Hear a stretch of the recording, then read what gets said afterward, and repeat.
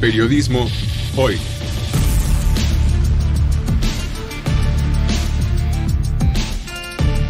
Avatares, riesgos y transformaciones del oficio de informar.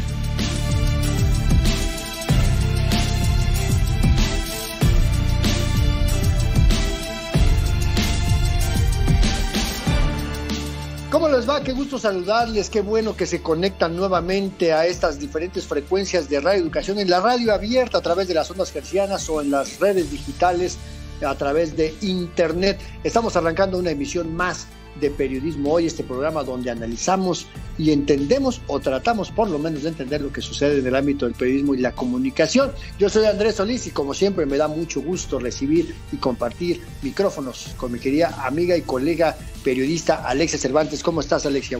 Encantada de saludarte Andrés Solís y de saludar a todas las personas que nos escuchan aquí en Radio Educación porque hoy tenemos un programa más de periodismo hoy en el que vamos a hablar de un tema que a mí particularmente me gusta mucho. Yo soy muy de revisar estos eh, estudios, eh, estadísticas, de revisar encuestas, informes. A mí me, me fascina, es algo que disfruto mucho y este en particular es un estudio que además tiene que ver con cómo consumimos noticias en el mundo y también tiene su apartado eh, de México, ¿no? Cómo consumimos noticias aquí en nuestro país. Es el Digital News Report, el 2024, acaba de salir. Es un estudio del Instituto Reuters y nos ofrece una visión, digamos, actualizada sobre los desafíos que enfrenta el periodismo, sobre qué tanto estamos confiando en las noticias, el impacto de la inteligencia artificial. Este es un tema que ya se contempla este año. Las expectativas también insatisfechas de las audiencias respecto a lo que ven en los medios de comunicación, también el consumo informativo a través de redes sociodigitales, vaya cambios en cuanto al tema de, publicidad, de sostenibilidad, de quién quiere pagar por las noticias. Es mucha información, información que eh, pues prácticamente es una mina de oro, pero lo interesante es que sepamos eh, entender las dimensiones de este informe y aplicarlo en los medios de comunicación, ¿no?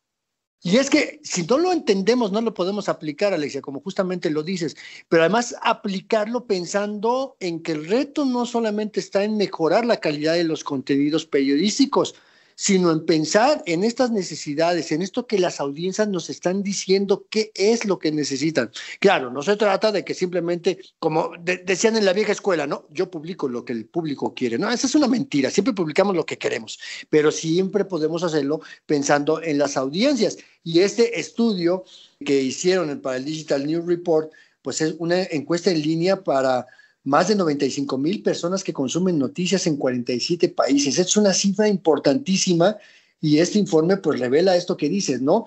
La confianza que las personas le tienen a la información, que sigue siendo un tema crítico porque habíamos pensado que íbamos ganando el terreno en la competencia contra las mal llamadas fake news, porque si es fake no puede ser news, pero contra la desinformación. Y platicamos aquí en Periodismo Hoy con la responsable de realizar los análisis para México, que es Marilena Gutiérrez Rentería, académica de la Universidad Panamericana. Vamos a platicar con ella al respecto, pero antes, antes, como siempre, ¿qué les parece si nos vamos a revisar la agenda de la semana aquí en Periotips? Periotips. Noticias y recomendaciones de la agenda periodística de hoy.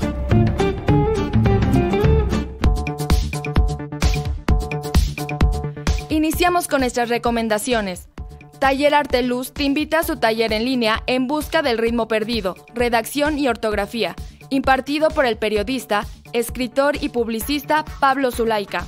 Está dirigido al público en general a partir de los 16 años que quiera mejorar su ortografía y redacción. Las y los participantes aprenderán la importancia de una redacción clara y sin errores ortográficos o de sintaxis haciendo énfasis en la puntuación y la entonación, los mejores instrumentos para combatir la arritmia en la escritura. Se llevará a cabo los días 3, 4, 10, 11, 17 y 18 de agosto. Para más información, visita la página web www.tallerarteluz.com.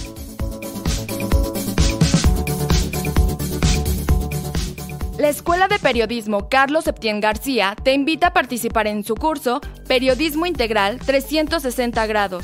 El objetivo es que las y los participantes desarrollen de manera 100% práctica las habilidades que un periodista debe tener actualmente, desde el manejo preciso de la voz hasta el diseño y edición de las plataformas digitales y así realizar contenidos asertivos para los distintos tipos de audiencia.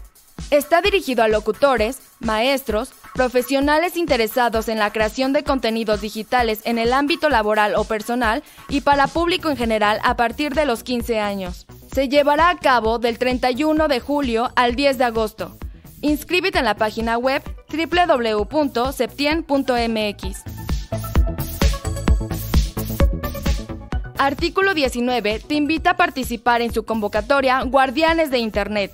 Está dirigido a personas de la academia, medios digitales, colectivas creadoras de contenido, comunicadores, periodistas, defensoras de derechos humanos y activistas. El objetivo es apoyar la producción de contenidos creativos para comunicar y advertir sobre el impacto de que Internet esté dominada por unas cuantas empresas tecnológicas, quienes tienen el poder de decidir cómo compartimos y accedemos a información en línea. Las inscripciones estarán abiertas hasta el 31 de julio. Para más información, visita la página web www.articulo19.org. Gracias por su atención a esta Noti Agenda Periotips.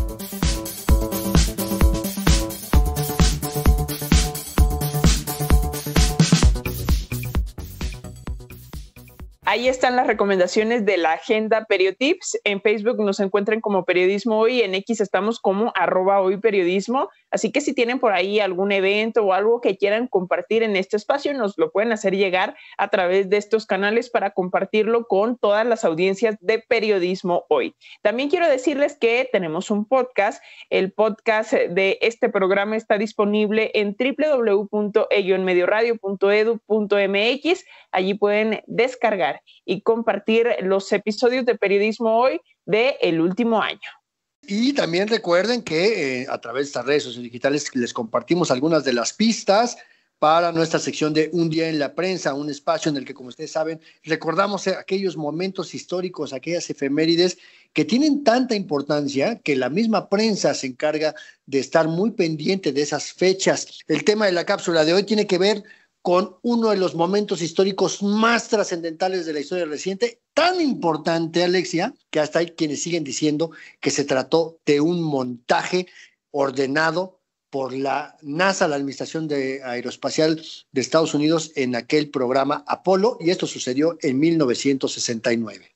Bueno, pues ahí están algunas pistas, así que si tienen ideas sobre el tema concreto de esta cápsula, nos pueden enviar un mensaje con la respuesta a nuestras vías de comunicación. Les reitero que estamos en Facebook como Periodismo Hoy y en X como arroba hoy periodismo y de paso participar para llevarse un libro que tenemos eh, para ustedes. Es Ejercicio Periodístico de Manuel Buendía. Es una edición de la Fundación justamente que lleva el, nombre de este periodista de la Fundación Manuel Buendía. Así es que pues mándenos sus mensajes y mientras tanto, si quieren quedarse, más bien, pues quédense, quédense, vamos a platicar esta conversación que tuvimos sobre el Digital News Report 2024 del Reuters Institute.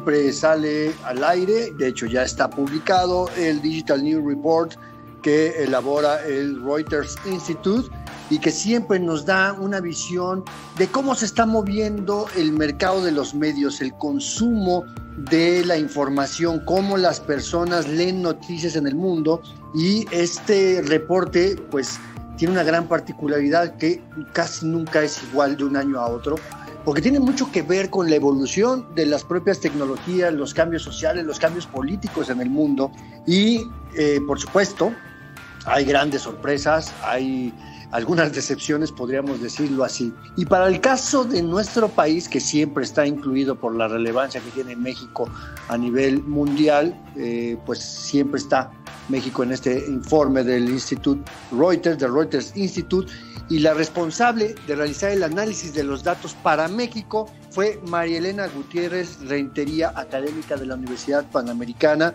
y por supuesto hoy está aquí acompañándonos en Periodismo Hoy en los micrófonos de la Radio Pública, Radio Educación. María Elena, qué gusto saludarte, muchas gracias por tu tiempo y por compartir estos hallazgos con las audiencias de la Radio Pública.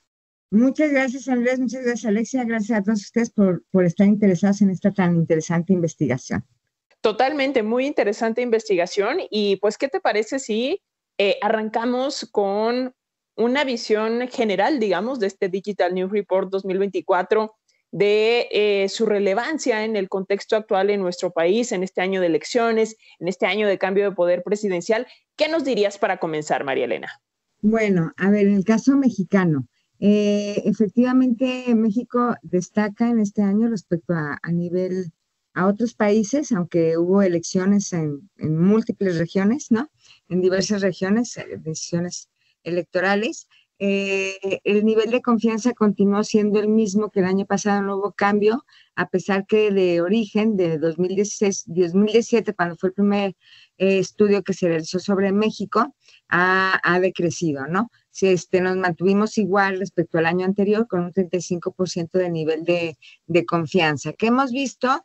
Pues se ve un fenómeno similar en el sentido de que hay una caída respecto al acceso de, bueno, al consumo de noticias, ¿no? Este, de parte de los consumidores digitales en México, de nuestras audiencias mexicanas. Sin embargo, eh, yo creo que aquí lo que tenemos que reflexionar a profundidad es que de estos, independientemente de la caída del consumo, no fue tanto respecto a otros países, efectivamente por el tema del periodo electoral que vivimos y que este encuesta efectivamente se realizó en febrero de este año, ¿no? Fue cuando se, que se lanzó.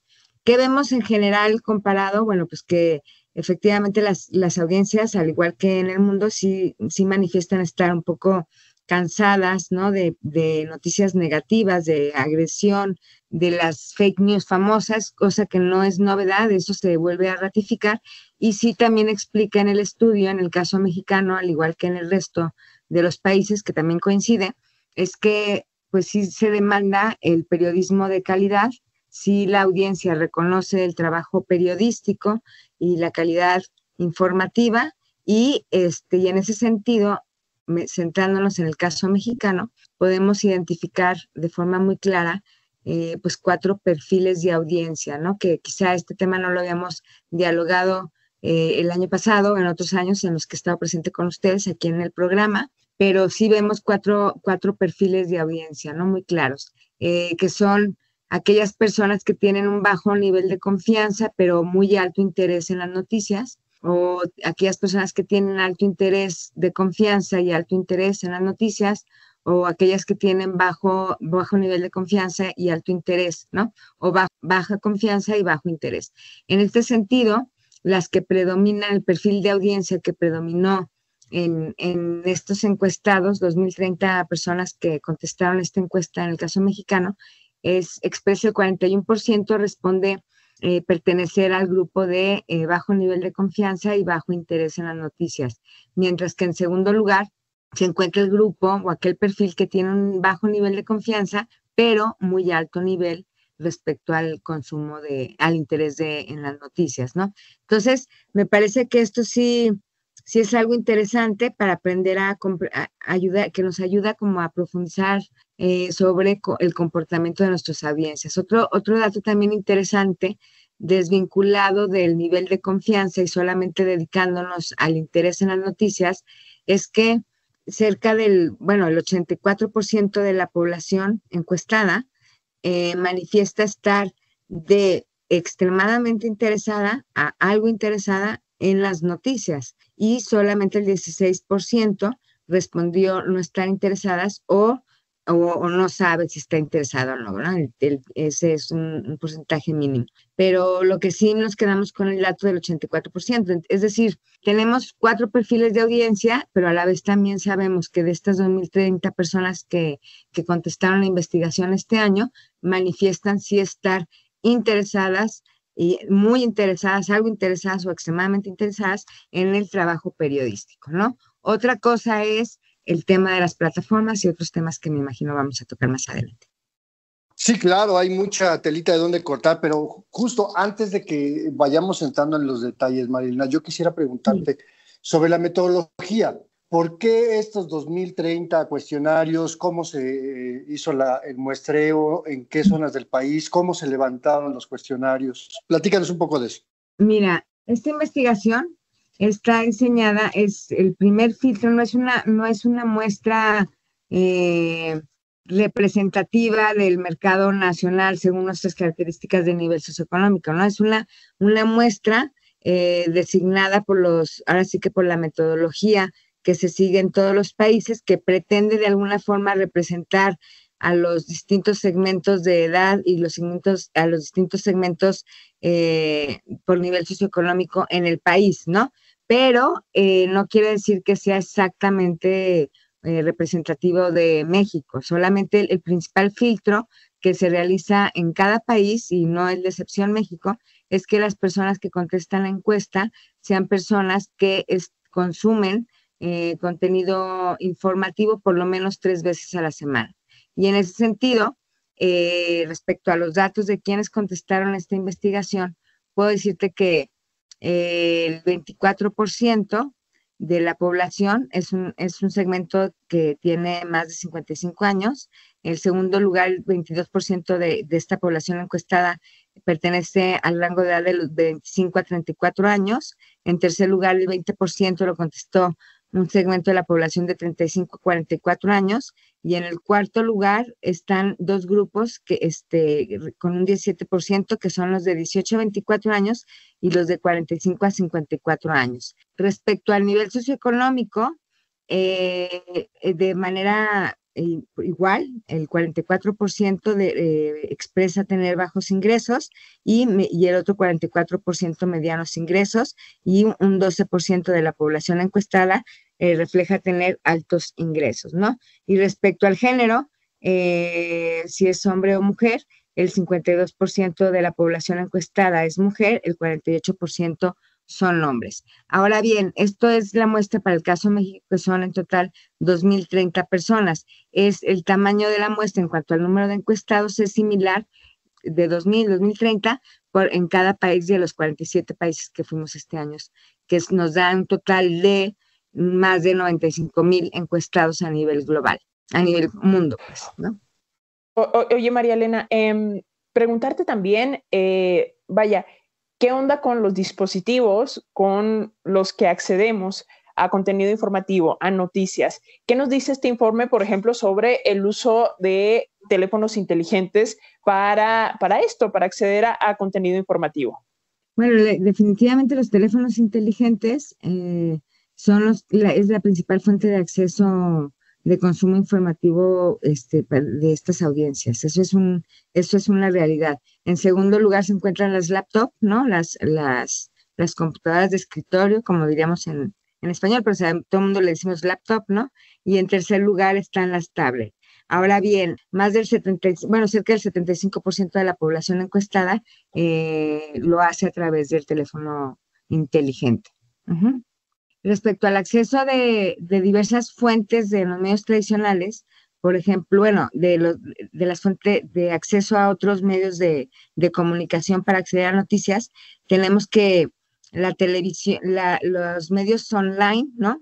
Incluyendo las redes sociales, es el, el 79% en, en 2024, ¿no? Esta cantidad, este porcentaje comparado al, al 2017 este, pues sí decreció de un 91% a un 79%, pues vemos que ha, habido una caída respecto a, al acceso de noticias este, digitales, ¿no? Este, pero también lo vemos, este fenómeno eh, de caída en, el interés este, del inicio de cuando se, empezó con esta investigación en 2017 en, en la televisión, en las redes sociales y en los medios impresos, ni se diga digamos que estos son datos duros que reflejan ciertas eh, pues particularidades del caso mexicano y cada país tiene precisamente su, naturaleza, ¿no? Su, su tipo de medios, sus hábitos de consumo. ¿Cómo diferencian esto que sucede en México?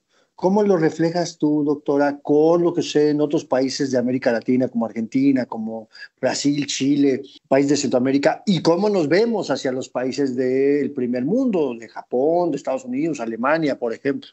Bueno, pues la verdad es que aquí nos podemos llevar varias sorpresas, ¿no? Este, a ver, en primer lugar, eh, pues decir que en general a nivel mundial la caída en el interés de las por las noticias fue general, ¿eh? No es propio de México, sino esto es un fenómeno mundial y en ese sentido sí vamos igual.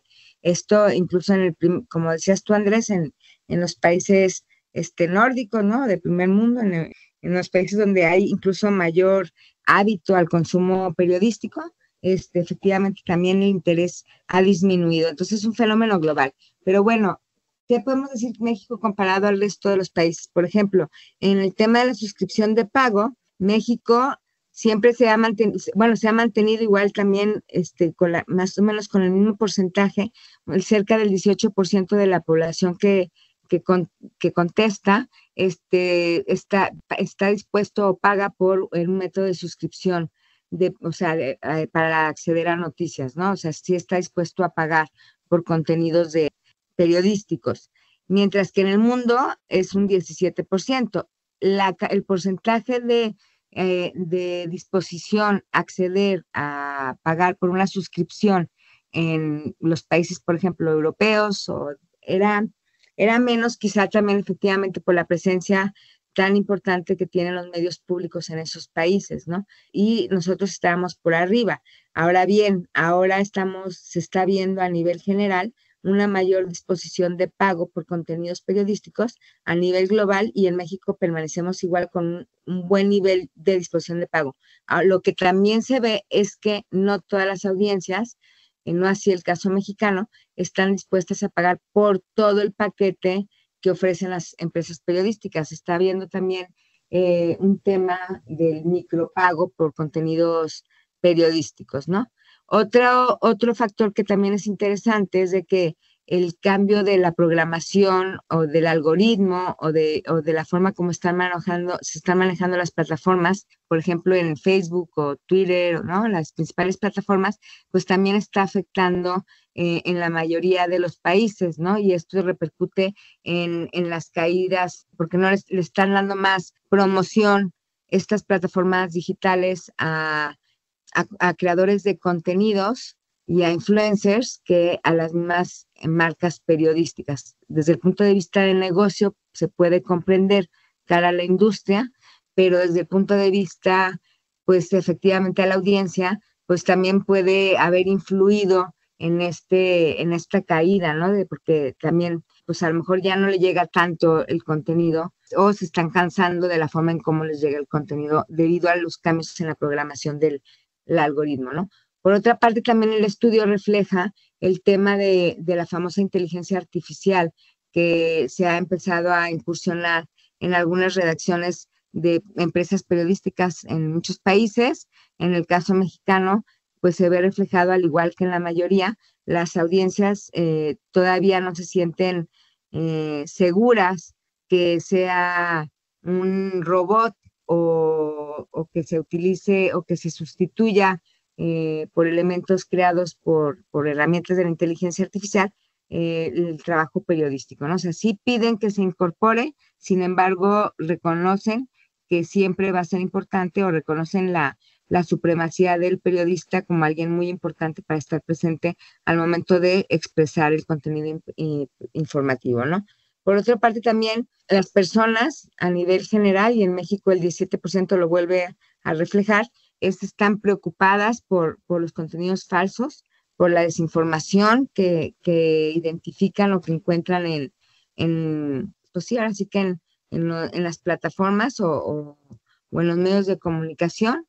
En cuanto al nivel de confianza, eh, México se mantuvo, como lo mencioné al inicio, exactamente igual al año pasado, el 35%, este, aunque la mayoría de los países tuvieron un detrimento, ¿no? Evidentemente, en el nivel de confianza, por ejemplo, México contra Argentina, la caída en nivel de confianza en Argentina fue muy superior a la de México, lo mismo que Estados Unidos. Ahí sí, eh, los invito a incluso en el, en el mismo portal del Digital News Report, pueden comparar país contra país y podemos darnos cuenta de, de pues cómo, cómo efectivamente hay una caída muy fuerte, significativa en, en Argentina, en Estados Unidos, pero no comparado con el caso mexicano, que aunque el nivel de confianza es bajo, un 35%, nos, nos ubica en una posición del 26, en el número 26 de los 47 mercados que fueron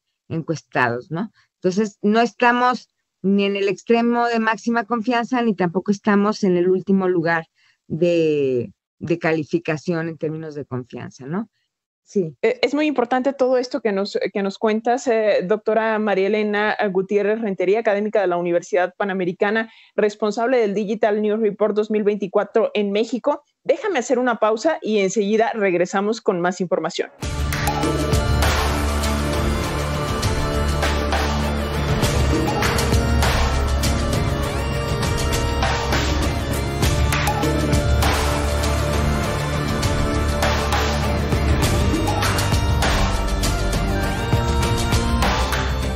Siempre hacemos una muy breve pausa a medio camino para recordarles que estamos pendientes en las redes sociodigitales de sus mensajes, de sus comentarios. En Facebook nos encuentran como Periodismo Hoy, en X somos arroba hoy periodismo y ahí van a poder encontrar, por supuesto, más información sobre los temas que estamos abordando. Les vamos a compartir, por supuesto, eh, el informe del Digital News Report para quien le interese descargarlo y claro, claro, más pistas de la sección Un día en la prensa. Así es, porque hoy vamos a dedicar esta cápsula, esta sección, algo que eh, tiene que ver con un hecho ocurrido el 20 de julio de 1969 cuando pues la humanidad consiguió un importante logro, vaya relacionado con, con la misión tripulada Apolo 11, esta misión enviada por Estados Unidos. Así que si tienen alguna idea sobre el tema de un día en la prensa, nos pueden mandar un mensaje con la respuesta a nuestras vías de comunicación. Mientras tanto, continuamos con nuestra entrevista.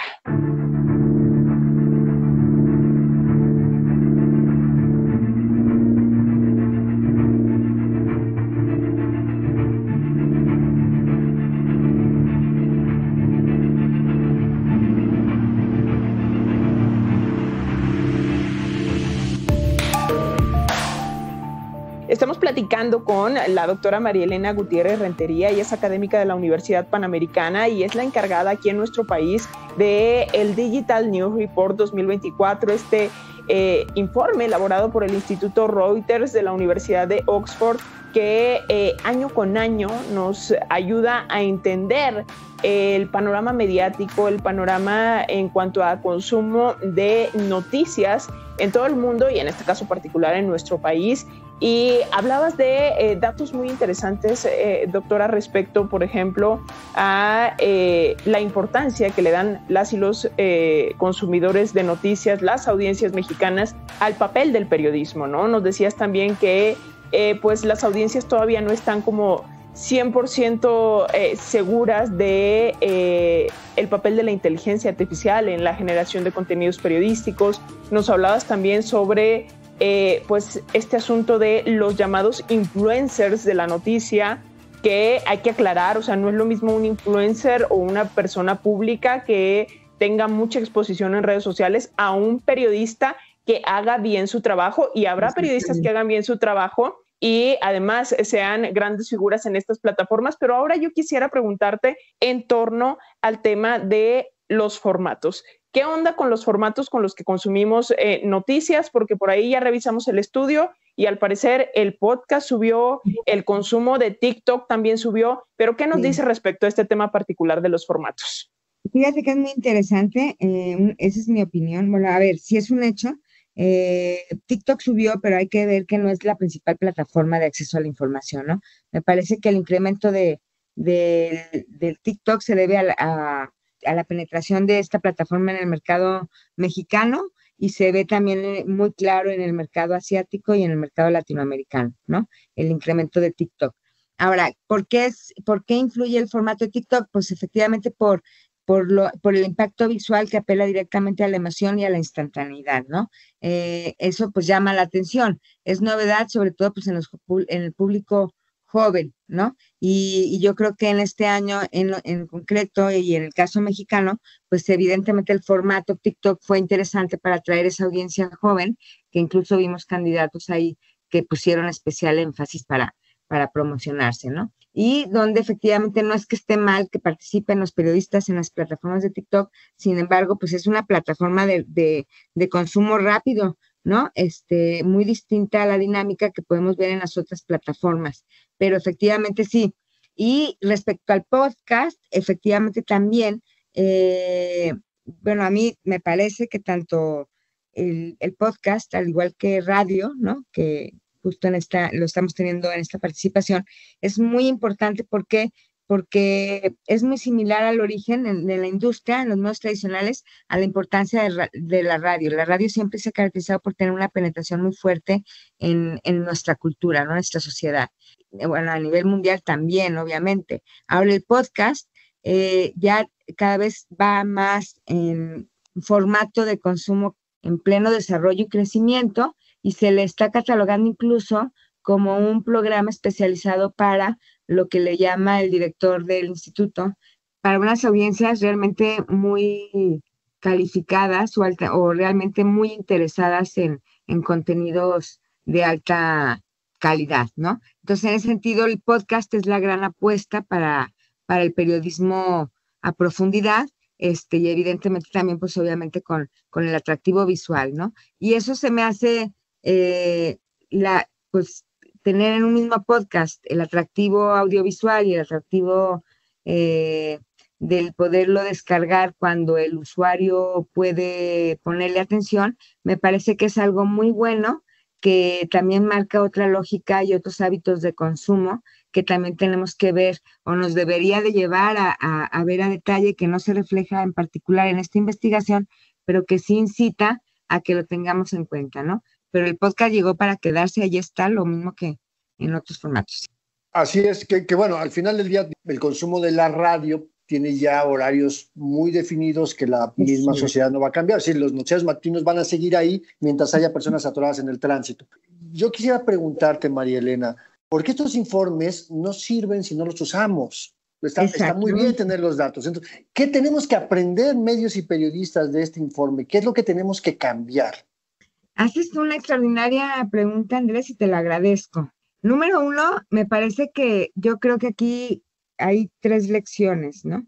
Uno que tenemos muy, eh, que a mí cada vez me queda más claro es que tenemos que aprender como a escuchar o a comprender quiénes son, quién es nuestra audiencia o quiénes son nuestras audiencias. Que no podemos ya seguir pensando en audiencias homogéneas, ¿no? Sino grupos de audiencia que no solamente se pueden regir o medir por un segmento de edad, que sí, es muy importante la clasificación por nivel eh, de segmento de edad, efectivamente, ¿no? Los, los jóvenes tienen hábitos e intereses muy distintos a, las, a otras generaciones, ¿no? A, los, a la generación X o a los baby boomers eh, o a los millennials, pero no, no es el único criterio, también tiene que ver, evidentemente, eh, pues los temas de interés y tiene que ver el nivel socioeconómico y, el, este, y otros criterios. Por otra parte, también me parece que la estrategia del empresario, y, llamo del empresario también al periodista, ¿no? Que, que va a ofrecer su contenido o colocar su contenido a largo de una marca periodística o bien él construyendo su propia marca periodística, ¿no? Saber identificar muy bien cuál es su audiencia y cuál va a ser su estrategia. Este, es decir, aunque el informe en general pueda sonar para muchos algo como que baje el ánimo, me parece que al todo lo contrario, yo creo que hay que tomar el lado positivo y qué es lo que tenemos que leer como preguntas, eh, Andrés, tenemos que aprender a leer lo que nos están gritando estas audiencias, que es que el público lo que desea es, son noticias positivas, noticias de mayor periodismo de investigación, que resuelva problemas, que no, que no todos los medios se vayan con la misma portada todos los días, ¿no? Que no nos estén cantando la misma historia de golpeteo, ¿no? es decir, las audiencias lo que buscan también es más periodismo de, periodismo de profundidad, de resolución y también en un entorno positivo. Yo creo que esto, esto es algo muy, muy importante. Y por otra parte, el, el mismo portal del Digital News Report, uno puede comparar tal cual, ¿no? Es decir, eh, viene la descripción de cada país, no podemos comparar el caso mexicano con el caso argentino, ni el chileno, ni el americano, ni el español, aunque sí el contexto en el que cada representante, que cada uno de nosotros como representantes, pues ayuda mucho como para comprender las circunstancias por las que se está pasando en los distintos países, que también sirve como para comprender el movimiento de la industria, ¿no? Ahora, hay cosas que sí se comparten a nivel general, pero no quiere decir que sea la misma realidad en el, en el mercado nacional. Yo invitaría a nuestros amigos periodistas, a nuestra audiencia, a que realmente aprendamos a, elaborar una estrategia, ¿no? A ver, ¿qué me interesa a mí posicionarme como el periodista líder en qué tema, ¿no?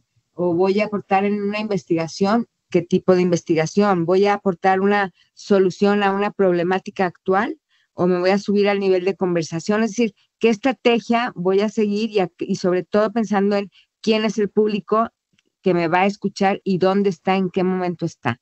Me parece que eso nos hace falta, Andrés, eh, por profundizar, este, y eso es lo que marca pues la diferencia y por eso también el crecimiento de, de los influencers o, de los líderes de opinión, ¿no? De alguna forma, pues saben quién es su público. Bueno, pues yo también te invitaría a quienes formamos parte, a lo mejor por, por edad, a otros grupos, ¿no? Que, que pues, abramos nuestras miras y, y, tratemos de comprender qué, qué están demandando cada perfil de audiencia según su nivel de edad, insisto, su nivel de interés de la industria, su nivel de confianza en la industria y sobre todo apelando a, a pues ahora sí que a los principios básicos del periodismo, que al, rigor, al rigor del, buen periodismo, ¿no? A los criterios deontológicos, éticos del, del quehacer periodística, que, eso no cambia, ¿no? Y, cómo adaptarnos al actual entorno. Totalmente, María Elena. Y antes de concluir esta conversación, yo sí quisiera preguntarte eh, dos cosas. La primera, eh, si tenemos más información respecto al papel de los medios públicos en nuestro país, en este Digital News Report, y si nos lo puedes compartir.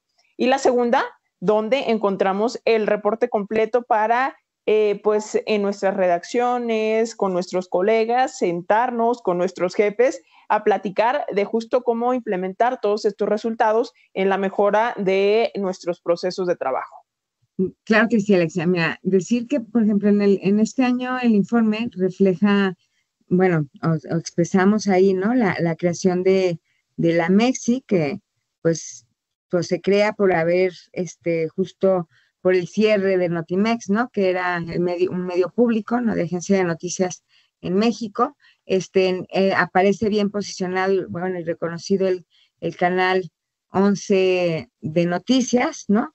Este, y me parece que ahí tenemos que trabajar más en tener Mm, por ejemplo, Radio Educación, pues debería de formar parte de este estudio, ¿no? Esta, de, de, saber tener mayor presencia y yo creo que es una tarea de todos los que nos dedicamos a, a esta tarea de, del, del periodismo y de los medios públicos, pues trabajarlo más porque además es algo que en la academia a nivel mundial es donde se están empezando a poner eh, las miras, ¿no? Bien, a lo mejor se menciona algo en el reporte, pero a lo mejor no tanto a profundidad, pero ahorita los, pero justo ahora los ojos este, vuelven a ponerse y a centrarse, y te lo digo por diversas investigaciones que se están empezando a generar, en la importancia de, de los medios públicos que no, no, sean partidistas, evidentemente que tampoco tengan una, una agenda propagandística, no, sino de la importancia del, del servicio público a través de los medios públicos de comunicación al servicio de la sociedad para informar bien a la sociedad sin que este que tengan ahora pues ahora sí que toda la toda la visión completa, ¿no? Suena romántico, ya hemos tenido casos como la ABC de Londres, ¿no? En su momento, eh, hay eh, radio, televisión española, en, en fin, Hay ejemplos de medios públicos que en su momento han servido como ejemplos de, que son necesarios para la sociedad, independientemente de lo politizado que se convirtió en algunos de ellos, ¿no? O del contexto político. Pero sí, a nivel mundial se está volviendo a reforzar eh, desde la academia, de los, desde los institutos y también desde distintas legislaciones, por ejemplo, en la Comisión Europea, la importancia de los medios públicos cara a la ciudadanía y los medios públicos con periodistas con los estándares más altos de, profesionalismo. Y aquí en México pues estamos involucionando en muchos medios públicos que se están volviendo más de propaganda, eh, del, viejo PRI que lo que realmente necesita la audiencia. Pero bueno, eh, será otro tema sin duda que podemos abordar en otro momento, María Elena. Agradecerte, por supuesto, estos minutos. Ya sabes que la radio es ingrata en cuestión de tiempo, pero de verdad muchas gracias, Elena Gutiérrez, Rentería Académica de la Universidad Panamericana y quien se encargó de hacer la revisión para México de los resultados del Digital News Report del Reuters Institute. Marilena, muchas gracias. Gracias a ti, Andrés. Gracias, Alexia. Gracias a todos ustedes por escucharnos y quedo a la orden como siempre.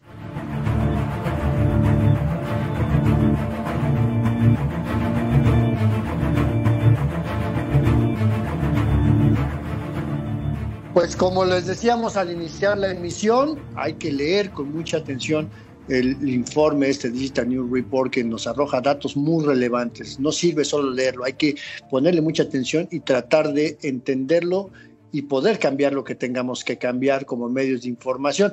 Pero si quieren volver a escuchar esta emisión, como siempre, la conversación que tuvimos, recuerden que está disponible el podcast en la página de internet de Radio Educación www.medioradio.edu.mx y también, por supuesto, lo compartimos a través de todas nuestras plataformas sociodigitales. En Facebook somos Periodismo Hoy, en X, lo que era Twitter, arroba Hoy Periodismo. Y vamos de una vez a nuestra sección final, a un día en la prensa, este espacio en el que recordamos distintos sucesos históricos y su abordaje en el periodismo. Y el día de hoy vamos a hablar de algo que tiene que ver con los resultados de Apolo 11, esta eh, misión, esta quinta misión tripulada del programa Apolo en Estados Unidos. Escuchen bien, ¿de qué se trata?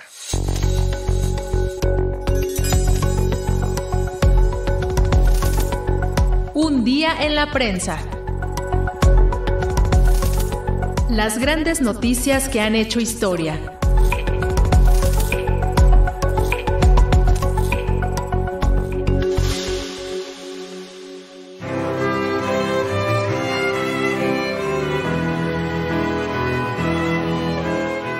Hay quienes dicen que fue mentira, que se trató de un montaje.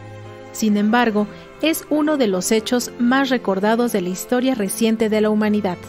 Se convirtió en el acontecimiento televisado más visto en su momento y solo compite con las transmisiones del Super Bowl. Nos referimos a la llegada del primer hombre a la Luna, 20 de julio de 1969.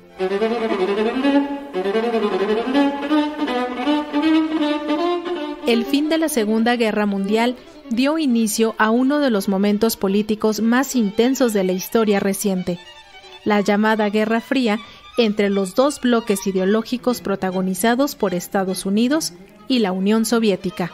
Esta guerra incluyó entre sus frentes el intento por conquistar el espacio, un objetivo que, paradójicamente, inició el propio Adolfo Hitler en Alemania. Incluso el gobierno nazi desarrolló la tecnología que puso a la humanidad en el espacio. El golpe inicial lo dio la URSS cuando el 4 de octubre de 1957 puso en órbita el Sputnik 1, el primer satélite artificial de la historia que realizaba mediciones geofísicas del espacio. Una década después, el 23 de abril de 1967, Rusia daba otro golpe en la carrera espacial al enviar al cosmonauta Yuri Gagarin al espacio a bordo de la nave Soyuz 1. Estados Unidos no tuvo más remedio que acelerar todo y comenzó enviando naves a través de su programa Apolo, que en dos años logró enviar cuatro misiones tripuladas para orbitar la Tierra. La Administración Aeroespacial Estadounidense, la NASA, trabajó intensamente para impulsar su proyecto más ambicioso de ese momento, que era llegar a la Luna.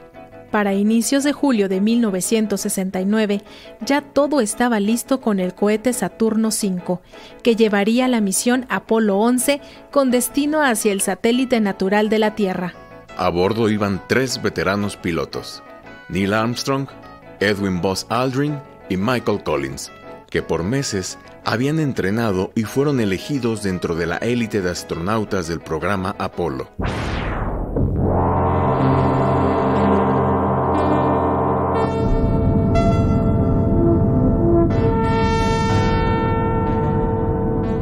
El 16 de julio de 1969, decenas de periodistas acompañaron a cientos de personas para presenciar el despegue de la mayor misión espacial de la historia hasta ese momento.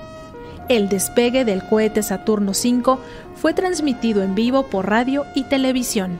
En los siguientes días, la base aeroespacial de Cabo Kennedy en Florida permaneció rodeada de periodistas con libretas, grabadoras y cámaras dispuestas a dar cobertura detallada a cada instante de la misión. El módulo lunar Columbia alcanzó la Luna el 20 de julio y envió al módulo Eagle a la superficie del satélite y a partir de entonces, ese acontecimiento cambiaría la historia. A las 15:17 horas de Houston, ante las cámaras de televisión que llevaban la señal en vivo a miles de hogares, el comandante Neil Armstrong se convirtió en la primera persona en pisar suelo lunar, una de las noticias que más cobertura ha tenido la historia del periodismo en el mundo.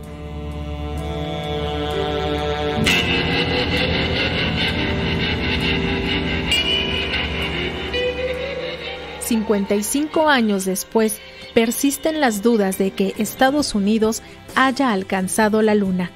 Se mantienen las acusaciones de que fue un montaje para ganarle a Rusia, país que después de eso dejó de pensar en alcanzar nuestro satélite natural. El hecho es que esa importante cobertura periodística ha trascendido al dar seguimiento a las teorías de conspiración. A más de cinco décadas después, el alunizaje sigue siendo noticia.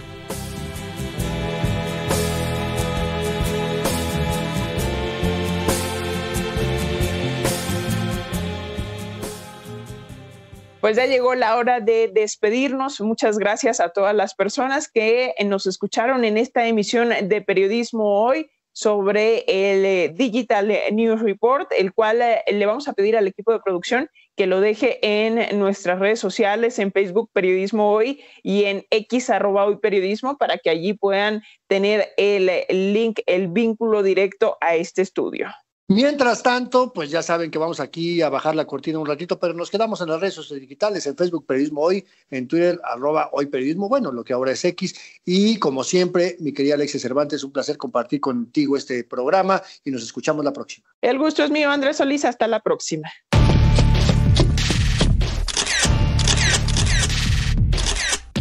Periodismo Hoy. Periodismo es publicar lo que alguien no quiere que se sepa. Todo lo demás son relaciones públicas.